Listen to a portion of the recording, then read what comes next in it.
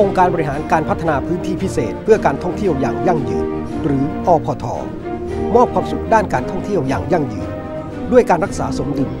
ทั้งมิติสังคม เศรษฐกิจ และสิ่งแวดล้อม 12 ปีแห่งการร่วมคิด ร่วมวางแผน ร่วมทำร่วมรับผิดชอบ และร่วมรับประโยชน์